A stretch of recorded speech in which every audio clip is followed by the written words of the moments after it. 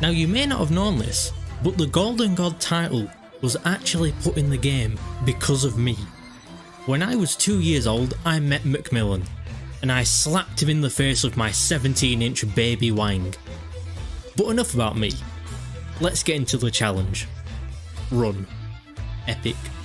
Gamers. Now we are going to be using a fresh save to heighten the difficulty so the game is as winnable as my father's affection. Don't be shocked by my incredible skills. Maybe one day you can be as good as me. And maybe one day a girl will finally talk to me.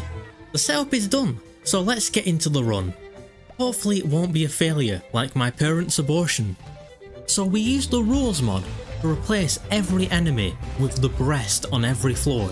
Just like the sex change the doctors forced on me when I was a child. Now without further ado, the run can start, unlike my sex life.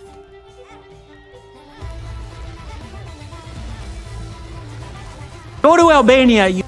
Okay, good attempt. Now time for an attempt on my life.